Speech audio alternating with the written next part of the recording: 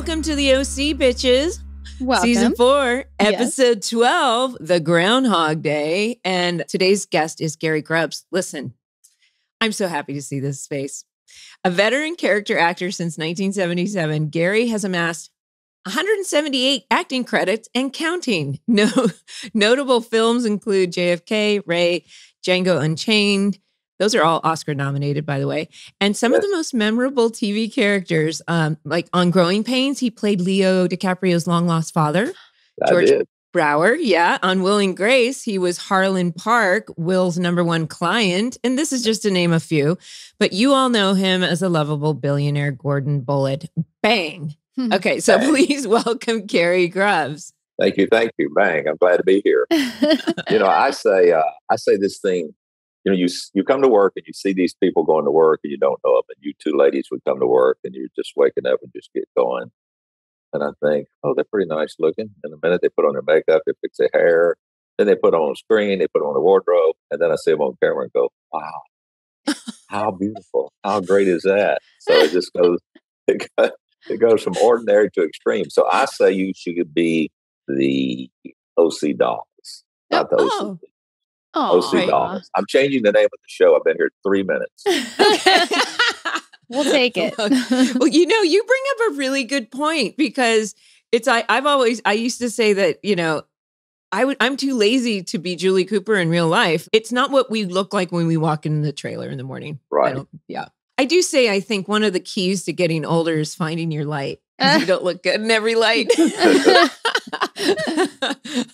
as as we are doing this here. But okay, It's a so good tip.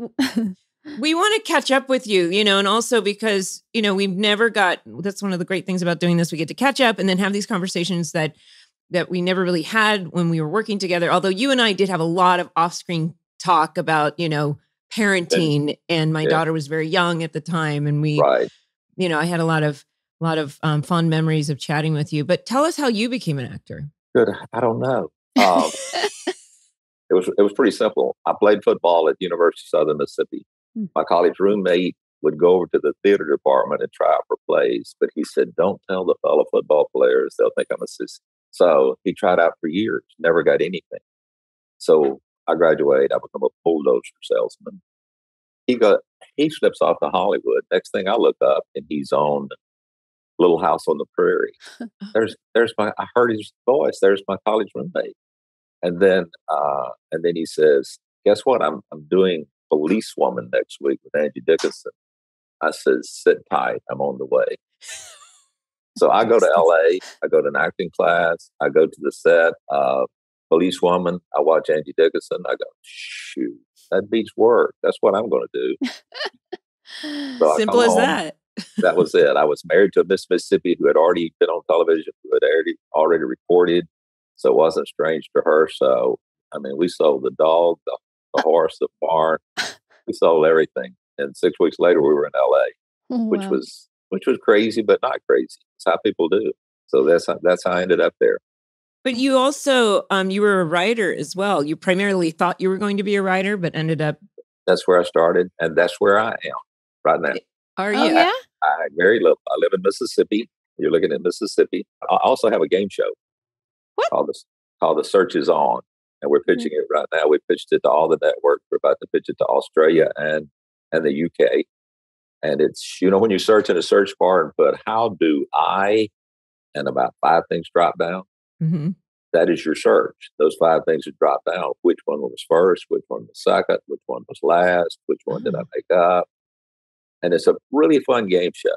So, you know, you know, the survey says instead of the search bar now says, so the search is on. We thought we sold it like three times, but we're still going. We're going to sell it. Get ready for the search is on. Do you want to host? Sure. I, I would love to. Okay. Two dollars.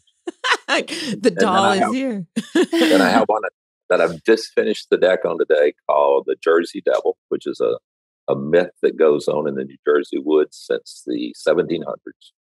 And it really is a script that I'm going to sing. And it's Okay. not and it's not a horror script. It's an action fun. It's an action fun romantic script, but it's called the Jersey Devil. Well, there's a reason I wanted to talk to you There you go. Not just There you go. interviews, you're getting jobs. I mean, this is just a really productive day. We got Gary. We got The scripts. podcast is coming to an end. We're running out of episodes. I need something to do. here. Yeah. uh, so the uh, and I had one called uh, a Dolly Parton movie for Netflix last year. I was going to ask you about that because it's based on your play as the crow Yes. flies, but th- Right, that was very successful from Yes. 1999 and it's been redone many, many times, right? But now And- it's and that play's still playing all over the country. right. And and that uh, but then I made a screenplay in, into it for Dolly Parton. So here we go. And she That's did you. She, she did that. So I'm still out Busy here. bullet. Busy bullet. Yeah, I'm a bullet, and I and I teach. I teach every Wednesday night. So I'm in Gulfport, New Orleans, and Mobile. I love That's that. awesome. Yeah. I have another question here. So, in your opinion, like, how has the industry changed since you're still so in it? I don't know, but it has changed, hasn't it? Yeah. I'm so in it, I'm so out of it. And the reason I'm out of it is because I live here. So I don't talk to people like you every day at the coffee shop. Mhm. People I talk to talk in a different world. Hmm And it's one of the reasons I do acting class. It keeps me inserted into the business. Mm. It keeps me talking about the business and the people who are trying to be in the business or in the business. And I also get to do some acting every week, whether, you know. And uh, so it really has changed. And it's, it, I think it's more difficult than it was, but I don't know that. We'll see. I'm headed out, out- that way in a few weeks and, and to try to sell property. But I know this as a screenwriter, you better be in town. You Mm. better not be in, in the hinterlands. As an actor, we can be almost anywhere now, though. Right. As a screenwriter, you think you still need to be in LA. Well, they want those meetings in town. They want you Mm. to come to their office. So anyway, so uh, still writing, still doing some acting and teaching. So I'm bouncing around. I bet your acting class is fun, Yeah. just like It you is. are. It's a self help group. Right. Well, that's that's what acting class is: is break you Yeah. down so that they can build Yeah. you back up Yeah. and figure out what's going There- on with you, right? people down here that live in the conservative South that they can't say a cuss word or they can't kiss somebody or they can't get mad or they, they go to acting class and go crazy. Oh. Right, they have a permission Because- to do to live another because life. they're the character. It's not them. Mhm. So Right. they they can they can get as angry as they want to. They can say bad words. They That's the only guess- scenes they pick. Yeah. I got one girl, I go, you cannot slap the other actor that hard. oh. she she gets so real into it, you know. They're Anyway, working out some stuff. yeah, yeah, working it out. So that's part of that. So tell us, how did you end up on the OC? I was out there and my agent said, uh, you know what the OC is? I said, I've seen a little bit of one of those. And he said, There's a part. Do you want to uh, audition? I go, Heck yeah, why not? He said, It's a number of episodes. I said, I can be here. So uh, I went out, I came out and got in the room, and there's Gerald McRaney and Beau Bridges and all of these well known actors. Did you know that? no. No, these And were I- who you were auditioning against. Tom Selleck. What? Yes. And I'm This reading is for the great. part. I'm reading for the part in it, going, I can't get this part. How can I get this part with these, you know, with these people? So everybody in goes in and does it. And I said, No, it's a comedy. I'm doing the comedy part. They were playing it straight. Mm. So I come in and I Oh. go, Hello, I'm Gordon Bullitt. And that's with a bang. Nobody else had said that. And they just picked it up. Oh, you improv bang. Yes. When I Oh, want to That's improv fun. bang, they picked it up and it just became my character, part of the show, part of my dialogue, part of your dialogue. yeah, yeah. Just kept going. That's amazing. Okay, could you imagine Tom Selleck? First of all, I guess I'm surprised he was auditioning, but but that would be a right and Beau Bridges, and that's Yeah. a totally different. And because season four is so comedic, and this episode, you know, you cannot take anything in this episode seriously. It all has to be comedy, Mm. but and, Well- and it has to come from that character that that's believable like that. Well, the heads up to you guys because there was a lot of. So I hadn't watched it in a long time. Didn't watch some of it when I did it. So I turned it in on there and I'm watching it, and some of it is really silly, unbelievable. But y'all played it straight. Y'all played it believable, or it, the thing would have fallen apart. But the actors decided it was real. It was serious. You know what I mean? Me Yeah. getting married. I mean, because you're you're trying to figure out which two guys you're going to marry that were in prison together as roommates. You never commented or acted like that was a bad thing, and it, and it worked. And Well, because it's like when we look at, you know, we've been watching all these episodes from season one to season four. Rachel had never seen, had never watched the whole show through. And she's like, well, right? Like, Yeah. what's, what Yeah. show are we in right now? oh yeah. Right. Yeah, I, I did this. I watched a few episodes. I was going to find my episode and I couldn't. So, you know where I came in? I came in on the episode where Ryan and Taylor have fallen off of somewhere. Oh, that's the, that's the, Chris it's the alternate, Chris alternate McCutt. world. that- Right. that- And so er- they're dreaming. So it's Yeah. a whole different world. yeah. So when I walk in, you're standing at the bottom of the stairs and Peter Gallagher comes down and kisses you and gets in a car and leaves. You're confused. And I start watching more and more and more. And I go, heck, I've lost my mind. I don't remember any of this because I'm watching a dream, but I don't know I'm watching a dream. right. when did this happen? Yeah, uh, yeah. When did this happen? And when it finally got to the end, I thought, oh, thank God. You know, because the, way- the way that was, I wasn't even with you. I mean, I didn't know what I was even doing in the show. But it- I think, I think that's why that show episode was so fun because it was such a, you know, a departure. derailment, departure from what we were doing, which is such a grind. It can be a grind doing nine, ten months out of the year of doing the same character, but then we get to play with our with our thespians. Yeah. So. Yeah. So, that, but when I was watching that, I thought, oh no, I don't remember anything correctly. And I didn't, I didn't know Chris Pratt was on that show. Oh, I had yeah. no Yeah. idea until I saw the tape. You know, yeah, yeah, yeah. yeah. you guys saving, saving the world, you environmentalists, Oh yes. Doing big things. right? Pratt and I. Want to smell better? Naked? Let's face it, our underarms aren't the only place we have odor. That's why I'm excited to tell you about Lume whole body deodorant for pits, privates, and beyond. Lume was created by an OBGYN who discovered and proved in clinical testing that the vagina is not to blame for day to day odor below the belt. So she developed Lume, a uniquely formulated pH balanced deodorant. It's aluminum free, skin safe, and clinically proven to control odor for up to 72 hours. So I'm I'm very curious about this and I mean, I'm going to give it a try. How about you, Melinda? well, okay. This this is such a unique deodorant because I love that it stops BO from happening in the first place and it doesn't just cover it up. And also it does it all with no aluminum. Lume is not just for women, too. It's for men and teenagers and I really wish that I'd had it when I was a teenager. Lume's starter pack is perfect for new customers. It comes with a solid stick deodorant, cream tube deodorant, two free products of your choice like mini body wash and deodorant wipes, and free shipping. As a special offer for listeners, new customers get $5 off a Lume starter pack with code OC at lumedeodorant.com. That equates to over 40% off your starter pack when you visit lumedeodorant.com and use code OC. Do you remember, like, do you have any memories of being on set or other than obviously the audition memory is crazy? We had no idea, but do you have any memories that come to you when you were shooting the show? Like your impression of your first day or what the set was like. See, when I got on there, I had just pulled up just enough tape to see one episode, and I wasn't sure. I know in the audition room they love me being over the top, and I'm thinking, okay, do I want to be more me or do I want to be the crazy guy? Mhm. And when I got there, immediately the director goes, "No, no, no." He he carries me the crazy way, over the top, loud, boisterous, out of control, you know, arrogant, but in a fun way. Mhm. Never get mad. Never understand the word no. I don't know how many times you call me an idiot, a fool, a buffoon, and you would say it, and I take it as a compliment. Uh-huh. You know what I mean?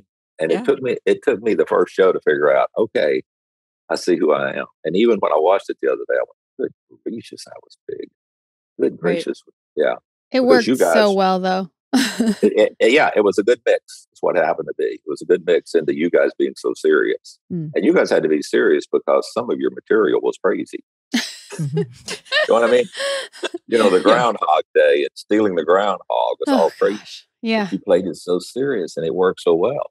yeah, no, we're not. We if you start going through with like, why did they do this and that and the continuity? There's so many little plot holes, but we are past all of you know the show always was a part it was comedy and tragedy but we're really just comedy right now and Right. there's a lot of joy there's not a lot of villain there's not a lot of Right. conflict the conflict is is good natured it's not malicious and i think that's what gordon bullitt was he's not malicious even though he No. kind of you know he he could rub people the wrong way but he's just not malicious Right. He was obnoxious. He wasn't malicious. Yeah. He I wasn't trying know. to hurt everybody. He was just trying to buy and make everybody happy. That's what he Yeah. was I to do. couldn't believe, like, in this episode when you're trying to get her to marry you, and you're like, "There's no prenup." After you mentioned 900 million, and like, "Huh, "There's no Right. prenup," and I was like, "Whoa!" And you know what I s- when I said, and there'll be no prenup, and she goes, "That's very generous, generous." She said that twice when I said, "I want to, I want to marry you," and you go, "Well, that's very generous." I thought that was the weirdest word they picked for you to say. It well it's an generous. And it's a- that, that, that's not very, you know, loving or sexy or interesting. It's generous that I want to marry you and because I have so much money. You know, it's it's a really fun it's it's such a fun storyline because you know you came in with a bang and clearly even though Julie was a little turned off for some reason she found something kind of endearing and kept giving him these little chances. But apparently he's gone off to Dubai. Now he's now he's back because Caitlin we Yes. find out has been emailing and which was the, one of the cutest funniest scenes with the with the Ward twins say tell him I tell him I like your butt and they said butt like a dozen times Right. which is so childish and then and I he- started slapping you on the butt. yeah you you did that in a couple episodes before Right. too Yeah. yeah and Yeah. uh but no we we actually had the conversation with our director michael lange where he was like he, he smacked you on the butt and i'm like no if you look close he didn't actually connect he did it just so and and because we were discussing about things that you can get away with nowadays and i'm like no no, no Right. it's fully fully in character for him to do that Right. i always thought but um, Yeah. but Yeah. but he comes home gangbusters because he wants to propose with a big huge Yeah. emerald cut rock Right. and I remember this day of shooting this scene where you drop on the knee and Julie, like literally, as soon as, soon as you drop, she drops her purse. And it's like, oh my gosh, what? We haven't even seen each other to come to figure out that. right in, in a month. And, Yeah. and and I went to Dubai and I ended up speaking. Probably we couldn't speak today. You know, I call somebody an al Al Qaeda wacko. I start. I say all kind of terms that I think. You know, I don't know if we could say that. You know, fifteen years later. Yeah. You know what I mean? Mm, we Right. were making. I was making fun of Dubai, Iranians, Iraqis. I was making fun of everybody. Yeah. There was What did you call? You called Sandy a Hebrew. Oh. I and you called Sandy you called what? him a Hebrew instead of yeah, like a bro. Like Hebrew Hebrew. and bro. The Hebrew. Yeah. Yeah, Hebrew. Yeah. There's so Yeah, many okay. things with your character, like the PC, you know, it was definitely Right. out the window back then. Oh my god. Did you get do you get um do you get recognized for Bullitt or did you at the time? Well, it's really strange. People who recognize me for Bullitt are OC fans. They know the OC, they know the character, they know the name, and they've been watching it. It's not often, but when I get them, it's complete. They want to talk about it. They know Hmm. about it. They know the episodes. They, you know, you know, they know your character names. They know Summer Roberts. They know Julie Cooper. I mean, they know, and uh, mostly I get recognized. Guys, you don't know this, but or maybe you do. I've played serious lawyers Yes. and the J- JFK. And I don't know how many features where I was a serious lawyer. And I was on Lifetime so much as a lawyer because they were doing su- Southern shows. And I would play the real lawyer from the Southern show to, to one night, this will kill you. I'm on, I'm on the air on a Lifetime show playing a lawyer. They cut to an advertisement for the next Lifetime movie. And it cuts from my face to my face. And I'm a different character in the next movie. Guess what? I never did Lifetime again. I had been on there too much. You see, oh. it was like he's on every Lifetime movie. He's a lawyer on every movie, and I would play these people who were mostly from the South, and they'd had problems, you know, and I'd play their lawyer. And so, Lifetime and Hallmark, when it first started, I was all over. Yeah. But then features, I mean, uh, and then I had a pretty good rear, career, I'll say, because I could do comedy and drama. A lot of guys can't. A lot of guys that do that heavy lawyer, even country wild mean stuff cannot do comedy. Mhm. But I mean, I you know I did the Golden Girls, and I, I was Leonardo's dad, daddy. I, I throw the pie on Three's Company Yeah. in his in his face. So I mean, I just I did all of those. Yep. I, Golden yeah. Girls. I mean, my God, that for me is like yes, the ultimate. right. Do you, do you have a favorite? Because those those um you know four camera comedies are so much fun in the way they shoot compared to single camera shooting. Do you have a favorite? I guess I, you know I did the first year of Will and Grace. Mhm. Uh, I was and I came on as a guest star. Oh, y'all have seen this. Happen. And the guy was playing the role. And the day before we shot it, they said he's not funny enough. Mhm. He's not going to be here tomorrow. Which I know they're letting him go, and you're going to do his part. I was so upset that I'm doing the guy's part, but it was such a funny part, and I, I thought the whole time he was doing it, I could make that work. You know what I Mhm. mean? So I I did it as a guest star, and after the guest star, the show went to upfronts where they Mhm. look at the shows and whatever, and everybody in New York laughed so much they called me back, and I became a regular. But I love went that on the show. Went on the show as a guest star, Yeah, and we that- know how and that so is. that that's the one that people that's the one that people know me the most of. Yeah. for. Yes. It must have been so fun to be on the inception of that show because Yes. it's such a favorite and that chemistry between everyone was so Right. wonderful. Yeah, but but this show, you guys, I, I- I'm telling you, every every stinking, every one of you would take some situations. Sometimes I thought that's silly as heck, and you would play it so serious, and all of a sudden it wasn't serious, and it was believable. Mm. Sometimes the writing was down the down the road, and you'd put it right back in the road all the time. Well, I think Yeah. that's, I mean, for me, uh, maybe for you as well, Rachel, but I had not done comedy and this was dramedy. And this show, it was such a luxury to get to do something that was growing and changing um, from the very, from the pilot to what it became. and Mhm. you felt like you were part of a workshop all the time or going to theater camp or school every every day that we got to kind of explore because and then and then and it taught me so much about exactly what you're saying is that if you play comedy for comedy it Mhm. doesn't it's not funny but if you play it For with real. some truth and realness in it it does land correctly Yeah. is that what you teach could i be No. a teacher no, but I should have recorded that so I could show it to them tonight. This is what Melinda Cooper said. Melinda Cooper.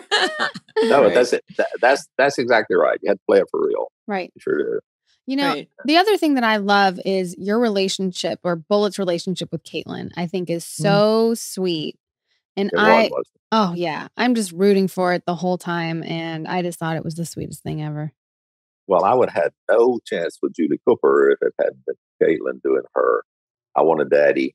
Why not a rich daddy? Why not a fun daddy? I like this daddy. He likes you, mama. She just kept selling me. It's the only way I stayed in the game. And meanwhile, she's off off hanging out with my prison roommate. well, I know. Okay, so but I mean, I think this is a different. She's changed so much because in season one, she leaves Jimmy Jimmy for Caleb, who ends up being bankrupt, and because she went and ended up in a trailer park, that trailer I think taught her so much because I think she would have instantly. um the gold digger in her would have instantly said yes to a proposal. And now she's been through so much. She's lost her daughter. She's been humbled by life. She's not trying to, you know, she's literally leading with her heart and she has some real feelings because I think if the old Julie would have said yes in a heartbeat. I see what you're saying. Yeah. So, so, but yes, she But see, I didn't get there to the fourth episode, so all the first three don't count. It doesn't matter. I know it doesn't matter until Bullitt shows up. and uh, and I think the fourth episode they were taking more chances and being a little wilder. Oh, yeah. were- yeah, Because they knew Uh, the show was coming to an end. So the Yeah. writers said, we're just going to have fun with this. So, yeah. but, and but. Well, and so that very funny proposal, very awkward proposal happened. And she's so upset with Caitlin. And, you know, because Caitlin sounds like she's like, what, you just like him for his money? And because Julie assumes that's what it was. She is a mini Julie. But then when she says, no, I like him as a stepdad, that tugs at her heart. right. And and so when she shows up to that party and she says, I have to say no, but I Maybe. but maybe because we don't know each other that well, Mhm. but maybe I can grow to love you. How mature, honest, and transparent is she? That's Right. like I wish I could be like that in a situation where I'm like, and and Bull, it's like, okay, I'll hang on. It, it doesn't hurt his ego. He's like, Yeah. Because apparently he's been married Oh, it five was hard times. to hurt his ego. I can tell you that. he didn't exist, right? yeah, and you you said maybe if I get to know you, and maybe if I get to like you, and maybe if I get to love you, then then I could be your wife. Well, what do I do? The next scene, I hand you some flowers and go, "Here's to my wife." I just project forward constantly. oh yeah. It- you know, it was not like I'm waiting. When you said maybe you're my wife, I go, "Here's my wife." The next scene. when people are calling me, my my husband to to today, my husband, he used to call me wife before, and I'm like, we're not married yet, You're- you know. And so on the day, I'm like, now you can call me wife. You're like, slow your roll. Yeah. but, but, but no, I, I think you make a really good point that there are people out there that, that just live life. They're not reacting to life, they're actually living it. And I think Yes. Gordon's just living it for the joy and uncertainty of it, where some Right. people are always scared of what's going to happen. And he's married five times. We're going to find out that, wait, he Yeah. has like 12 boys Yeah, or 12 something. sons. Yeah. 12 sons.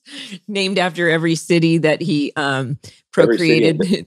Yeah, every city, in, and they're all Texas cities. Well, one was Hanoi at the very end. I And think. then and Hanoi. right. So I was overseas playing around a little bit. Apparently, apparently. Yeah. You know, it was a mystery who Julie was hanging out with, but then it's revealed that it's Frank and he's he has a ring too. Right. So it's like, wait a second. I feel like this is at, at first I was like, this is so quick. Frank does say it's a promise ring. Right, right. And it, the storylines are coming to an end, so we're accelerating like Yeah. Wh- what's going to happen. you ready for this? What? We I did a movie called Let There Be Light. You know who did that movie? Who? Hmm. Writer, director, producer, star, Kevin Sorbo. oh, So he You- calls me to do the movie, and I get down there and I go, "I no, I'm not doing that line. You got Julie Cooper. I did. I'm not changing that line." and we were. It was pretty heavy. It was political and religious. And I was one preacher, and he was another preacher, and we were going two different ra- ways. But he, but he called me because of the show. yeah. Yeah. Yeah. Wow. They said we we need somebody a little older who can go head up with Kevin. And he said, "I know the guy. We don't have to audition. I know the Uh-huh. guy." So Oh, he called me at home. I didn't audition. I just showed up in Dallas and we did the show, did this movie. oh my right. goodness. That he directed, right? So if you really don't have anything to do, nothing to do, watch Let There Be Light. Let there be light. I, you know, I wonder how long it would take me to go on a Gary Grubbs marathon because, you know, it was like I looked and it was like 170, 175, 178 credits. I mean, it's like, you know, you, one should be so lucky in this industry to even to even Well, and- continue to do that, right? And I had worked, I had worked in 10 years to amount to anything. Hmm. I've been writing and I've been here and taking care of family and I'm in Mississippi. Yeah. So, and then COVID, I was kind of working again and COVID's kind of shut everything down. So, Mhm. Yeah. so we'll see from here what'll happen. It's a slow recovery, it feels like. It is, isn't it? yeah. Yeah. No, just like I'm ready to go. Oh, no, the world shut down. So, yeah. no, there I'm is gonna no, sit on my there is no go yet. Yeah. Yeah. No. Yeah. One of the things, you know, before we have to say goodbye to you, before we have a couple questions for you too, but your passion and your joy for your work, I mean, it really shows, it shows on screen, number one. And I think it was really, I think season four had, we had some great guest stars that really helped elevate us going through the end of a, of a series. I mean, do you have advice for others doing the same? Like, how do you keep your passion through such a tough industry? Well, you, you, you have to do it job by job. And what you have to do is find the best you can out of that character and out of that job. And then afterwards, you're really happy. Because if you don't, if you halfway do it and you halfway energy it and you don't give it your best, you look at it and you go, oh, because you can build on it. And then the more you do it, the more you build on it. And then it more excites people. My deal, and I'm sure y'all have to do this too. Thank goodness for the cell phone photo. Because here, I can't go to the grocery store without taking photos of people. Hmm. I can't go anywhere because I'm the only actor within 200 miles. So everywhere I go, and it's because they know me, I don't sign autographs anymore. I take photos. And that's great. They'll come up and they'll say, I know you so and so and so and so. And I said, Yes, good to see you here. Let's take, let's take a picture together. Mhm. They take the self selfie, and then I'm going, Enjoy that. Good to see you, man. Once they get the photo, they go show it to somebody else. Once they get the selfie, Yeah. they move, they move along with it. So you can do that. If, I'm sure it happens to you too, al- al- also. But when you get out in the middle, instead- in LA, they don't do it, but you get out around Yeah. here, they do it. Yeah. Yeah. No, people always think LA is like, you know, is people don't really come up to you in LA. Right. Now, you know what they actually, do here?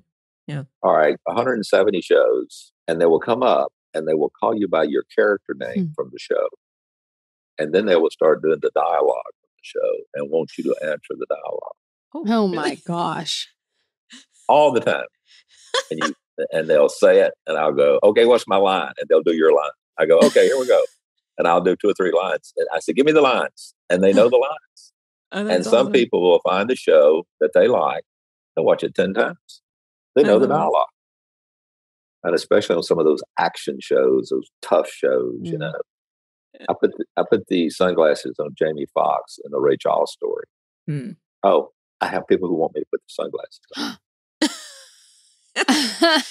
but you do it with pleasure and a smile. Yeah, that's the yeah, that's that's the it's the attitude. I mean, I think Yeah. everything is just a is a choice. That's your attitude is a choice, right? Yeah, if I go to the grocery store or Home Depot, I go early in the morning. Right. Oh my gosh, that's funny. You're too big of a star, Gary. Well, we have a couple um fan questions. Put them on, I'll take a photo of them. Hi, Rachel and Mindy. This is Saul from the UK. I'm a huge fan of the podcast. Love what you guys do, and um, it is one of the highlights of my week, as I'm sure many other listeners have said. My question is for Gary, and very simply, are you Team Frank or Team Bullitt? Take care, guys. Oh, we know that I am Team Bullitt. Of course. Of Bang. course, uh, Team Frank, bang. No, I'm the bullet. And, and Frank, Frank, uh, uh, Frank wouldn't let me say bang in his in his Christian movie. He would let me do it. oh. did you improv a lot? Do you on the OC? I felt like you did a little bit at the ends, like buttoning up scenes. Well, I, not a lot. I can't. But every now and then, I can end a scene like uh, when I say that I'm going to make love to you, and I said, and we're going to go back, and I'm going to take you down to Chinatown. Oh, you did say that. That's crazy. yes, you Now, did. That's fr- that's from my high school. When a guy when a guy was going to make love to a girl, he says, "We'll take her down to Chinatown." Oh, Where yeah. it came from, I don't know, but that's what the saying was. Oh, you that's know, amazing. So so so lines like that, and damn Elm, I'd say so and so. Yeah, damn Elm, and that my Uh-huh. uncle used to say that. So yeah, I, I threw a few in there, not much so because it, that you couldn't. That show was written tightly and moving forward, Mhm. and the next the next scene would play off of that scene would play off of that dialogue. So sometimes I did, Yeah, not right, much. Right. Very good. It's your biggest fan, Josephina Toma, saying a howdy partner, how's Juju doing, and a bang. And bang to you. She's just checking in, wasn't she? Do you know her? Well, I know a Josephine who's a friend of one of my class members, and I thought that's who that was. So, but So how you doing, Bullitt? What's cute. going on? Yeah. you know, the show had a uh, because it was done by jo- Josh Schwartz and it had Jewish elements. I was really, I was really, it was really interesting that they played that so open. Usually they don't. It was so part of the show, and they played it, played it well, and made it work. It wasn't offensive. And it was not like, look at us, we are the rich Jewish family from the OC. Mhm. So my question is, how in the heck did I get to Orange County? Does anybody know? All of a sudden, I'm there, and Frank is there, and my son is there teaching tennis. I mean, it's one of those things like I could see, yes, the the wealthy money, the wealthy billionaire ends up doing some dealings in Newport, Newport. Beach, being a very wealthy thing too. He's got some kind of Yeah. he's all over in the wealthy wealthy places because it was Yeah. we were ro- we were riding high in the early two thousands. right? Everyone, yes. yeah, The OC. What? Yeah. I mean, it Mm-hmm. was it was a word before it was the show. Yeah. You know I yeah. mean? I, Yeah. I meant financially, the world too was doing Right. like a yeah, but before Right. two thousand eight, yes. Right. Yeah. but um, it's really just personally so genuinely i'm so happy um, that we reconnected so i hope to see Yeah. you in the future Gary, thank you so much for coming on and talking to us. Seriously, your character Bullitt was so much fun to watch. I really just loved it. I loved what you did with the character, and it was so nice talking to you today. So thanks for taking the Oh. time. You're very welcome, Rachel. Thank you. Yeah. Call Thank again. you, We'll do it again. We got plenty more we can do. Let me Oh know. yeah. yeah Yeah, yeah, Okay. absolutely okay have- take Y'all have care a nice day. You All right. too. you too Bye bye. That was so much fun seeing Gary Grubbs. Gary Grubbs. Well, you know, so this th- so this episode, Mindy, uh, ground the groundhog episode. Seth and Che get in some trouble with the police when Che drags Seth into helping him try to free a groundhog before Newport's annual Groundhog Day festival. Meanwhile, Kirsten gets some life altering news, and Taylor gets some extra help from a therapist to make things different with Ryan.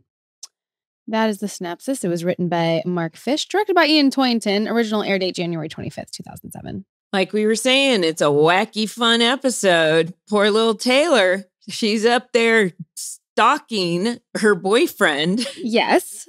which stalking isn't really funny, but for some reason it's funny in this episode. funny in this I- episode. Yes. I can I just say something? I've mm-hmm. never seen Brody more over it than this episode. like yeah. his delivery, his improv, like everything he's throwing out there, I was like, oh, he's so done here. Like I keep saying it as the we get closer to the end, but in this Right. one in particular. Yeah. Do you no, I mean, oh yeah. No, there's well, we we talked about it last week with Patrick Norris. Yeah. And that's what we're saying. There's some wacky, super wacky stuff going on. And I I think if you look at these episodes trying to figure out why these characters are doing this, you're gonna make yourself frustrated. Right. This is now a different elevated suspension of disbelief. And th- this is the writers. Um, like it's almost like you have what JJ and John Stephens said. You could see how much fun they were having in the writers' Mhm. room. Mhm. And this was like, okay, let's do this great storyline. First of all, we didn't do Valentine's Day this year, so they because it's been done. So now we're gonna do Groundhog's Day. Right. And and the funny part about it is because I looked this up, I'm like, do we do Groundhog's Day, uh, Groundhog Day in Newport? California? Oh. Because Summer even goes, it's funny because it, one of the big things is that Groundhog Day We don't has have to do with like winter shadows, all that kind of stuff. It doesn't necessarily make sense.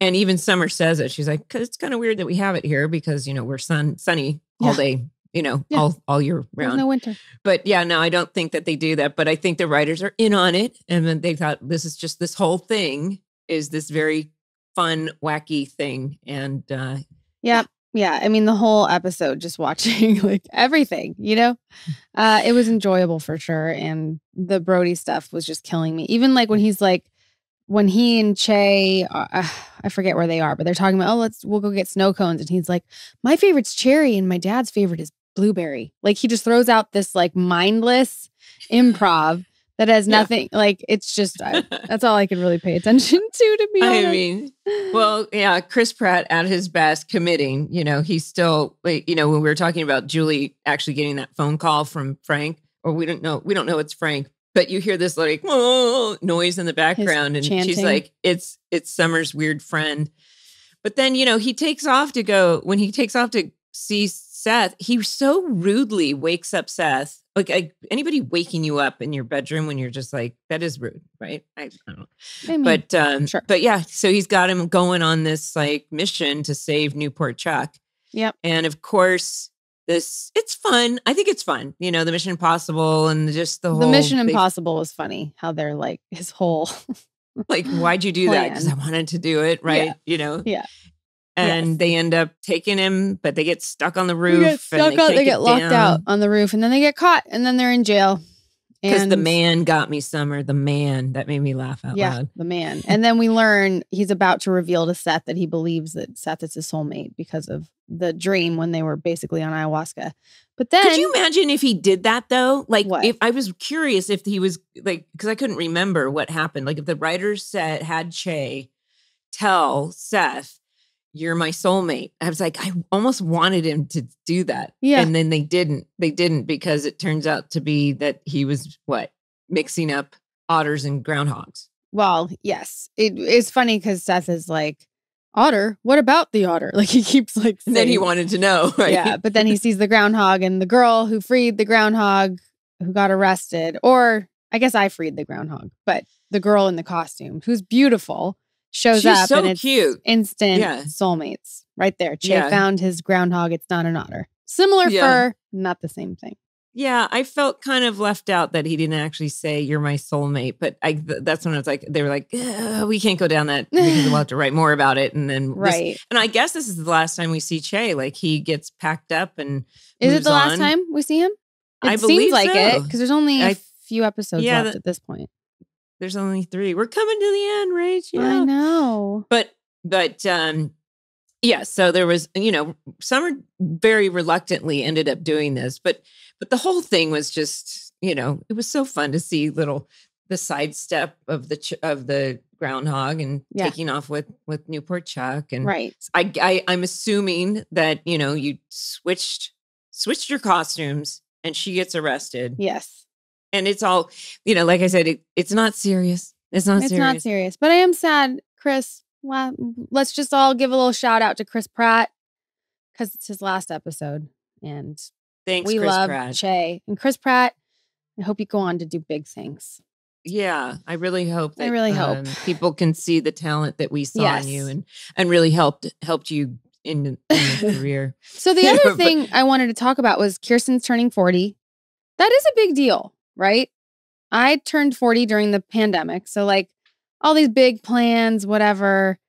And then we just had fried chicken and played board games at the house with like a few friends. But you know what? That's me in a nutshell, and I'm okay with it. But Kirsten turning 40, there's a lot going on, clearly.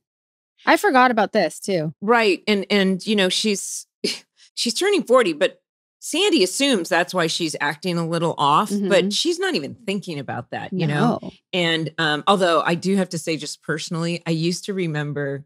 It's just it makes me laugh now, but I remember when we started the show. I would, did the pilot 33, and I would do the math. I'm like, God, I'm gonna be 38 when the show ends. That is so old. I mean, it's still that kind of child mentality of like right. being 30 is old, being 38 is oh, and it's like my life is gonna be over. and it's just it's a funny. it is fun. That was me. uh, well, yeah, this industry, we keep trying to stay young. And I'm just at a point now where I'm like, No, I'm gravity's taking hold. I'm thrilled. in Lines are fine. Yeah. No, it's all good. But yeah, Yeah. you know, So he's, he instantly says to the boys, like, she must be, you know, it's, she's turning 40. That's a big deal, which is kind of, you know, he totally misses the mark, but she turns out she's concerned and she has to go to the doctor Mm-hmm. and doesn't know. And then, of course, we find out, you know, the doctor ends up having to tell her in person. yeah. And I kept thinking, why not just get a pregnancy test? But then I well, realized she didn't think she didn't have any idea that she might be pregnant. Right. She didn't think she could get pregnant. So that's plausible. But this whole time we were concerned that she was going to be sick, sick. Like Sandy's face. She's like, he says, Are you sick? Are And she's sick? like, just in the morning. So, oh my god. but no, but that's kind of exciting. Although it is interesting. Like, I actually, I had a, um, when I was like 44, I thought I was pregnant. because you I was- weren't? You were. No, I just, I missed a per- my period for a while. Yeah. More, more the beginning of perimenopause. Like, Right. I was like, holy moly, I'm going to do this. Like, it, I mean, it That just was my with your thought. head. That was my thought Yeah. because she has a a child a child. Well, Seth is out of high school, like college age, and to do it all over again, I was thinking about how crazy that would be having an adult child and then having another one. That's pretty. Right. it's Well, the- and they yeah they didn't discuss. They're about I to mean, be she- empty nesters, and now I know, right? It's like, do, what do you? She didn't discuss. She wasn't thinking. She obviously instantly wants to keep it. It's Mhm. not. That was not even a discussion right, of the alternative. Right. You know. Right. So. right. But in the meantime, um, Sandy's like on this mission. We have no idea what the mission is. No, And I mean I knew. get this Even though I didn't truck? know, I knew. Oh, did you? Yeah. But then I thought, what are they going to do with this thing? Are they're going to? Because I guess they lived in it. yeah, I didn't realize that. Could you imagine? No. Like, do they actually lived in the thing? Yeah, Just he wanted reminds to me of get an air mattress. it reminds me of Adam and I being on the river. I can live in a I love you so much. I can live in a tent with you. And he's like, Yeah, no, we're not doing that. Happy he shut it down. no, no, no. We like our home. But yeah, But- so he's having this big party for her, the surprise party. And one other favorite part was when Sandy gets Seth out of jail. his delivery is like, Hi, Dad. Hope I'm not too late for mom's party. Like his He- delivery. He totally yeah, he was like, Hope I'm not late for mom's party. oh my God. That was my, my favorite takeaway. Yeah, No, and so there's a it was sweet. party, and they tell the boys. I mean, you know, telling about your pregnancy this early, but they're adults. I guess they can handle it. Um, Right, right. yeah. And so the news is out. Everyone's at the party. That and that that is actually um you know when when Julie kind of steps out and she sees how how happy everyone is Yeah. and that's when she goes over to Bullitt and it's like Yeah. you know what I will give this a shot Mhm. I'll give it a chance Yeah. I love my hair here Yeah, you I look just great. was like the, the welcome to eh, thank you but no welcome to like clip-in extensions 'Cause I was Oh. like where did those go that's not my hair Yeah.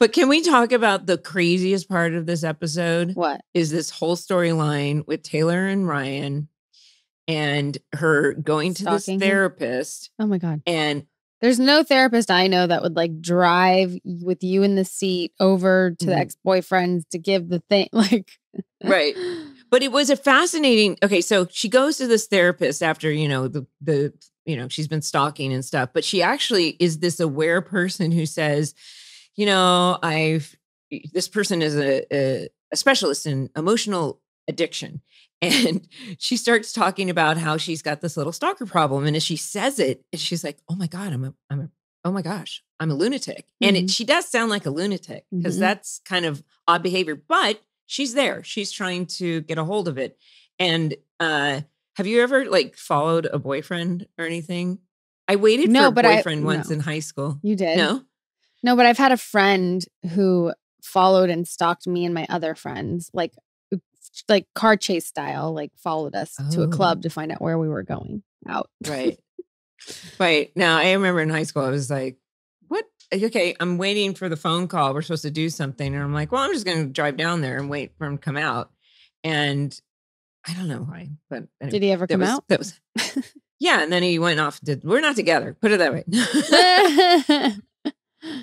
but but she's you know she's trying to stay away from Ryan, and it is a but taking space is a very healthy, smart thing to do. But she Mhm. happens to find the most. And yes, the writers are in on this. Where this where this this therapist says, "My methods are very extreme," and for the Oh, sake right. of this, doing this funny storyline with this crazy um uh therapist. Oh, by the way, the the actress Alison LaPlaca, she's been in some of the cool. She was Joanna in in Friends. She's been in some. oh my growing, god. Yeah, Yeah, that's She's- why she was familiar. Okay. yeah. She's been in some of the my. I used to just love her when I was in my twenties because she Mhm. always played some did some really cool um, roles in. But we get this. I mean, Taylor wants to break this cycle. So she lets this happen, but this whole thing about um, her handing over his stuff that She's Mhm. keeping toothpicks. She's keeping um, odd mementos that she wants to deliver to Ryan. Not things that Ryan gave her, but things that she's kept. Mhm. And and it's a cute scene. Like I think it's sweet that that Ryan's still actually saying, Taylor, you don't have to do this. We'll work on this. Right. He's accepting her weirdness Mhm. and her oddities, and she still is, you know. Yes. I mean, the scene worked. It was cute. It was. It's very sweet. I like them a lot. But then when she dresses up in the groundhog outfit and Oh my god, and she falls. like the whole thing. Yeah. you see Ben's head like look around. And yes, obviously that would be it's kind of creepy, but I felt so bad and embarrassed for her I as she fell down. I know. I know. But I'm loving it. It's very fun to watch. It's just so weird. Well, then it pays off at the end because when he when Ryan finally walks, he calls her and he imitates a, a breathing heavy breather. yeah. And he's like, she's like, that is the most romantic thing anyone's done. I don't think she's saying that seriously. She's now joking about it. And You she's think saying, so? well, I think Excuse she's me. like, this is the most, it, I guess it's two, but then he's, but now they're going to, it's forgiven.